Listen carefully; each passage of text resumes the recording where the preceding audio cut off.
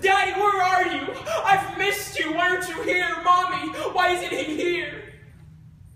Words of a three turning four year old boy who, in a moment, lost the presence of his father. Now, you, you might not remember a thing when you were three, but for me, I do. I do remember having to walk through metallic gray metal detectors just to stumble into what seemed to be giant room and waiting for a father who left me.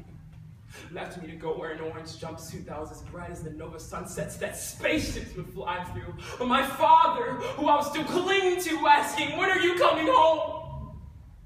But as I grew, that love for him became clouded with questions and doubts, and now I'm positive many of us have experienced some type of father lessness.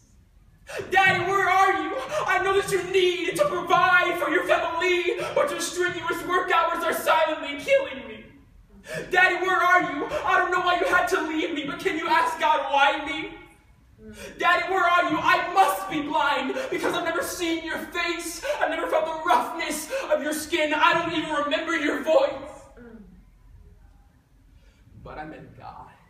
I met a father. I met a daddy whose touch is as gentle as an artist's paintbrush against his canvas. A touch that heals all wounds, who in your darkest nights becomes that brilliant nova sunset that the spaceships still fly through. But now you can run to a father who fills the most empty of voids with the raging tsunami of his grace. A father whose only job is to be there for you when you're not there for yourself. A father who would not be defeated by death so you couldn't be defeated by this world. A father whose presence is omnipresent.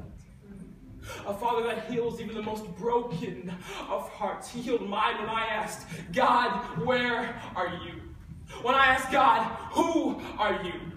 Why did you never show up? Why didn't you stop my father from walking out? Why couldn't you wipe my mom's tears? And he said, I am and was with you. I cried next to her, in fact, I cried more tears than her. Do not forget.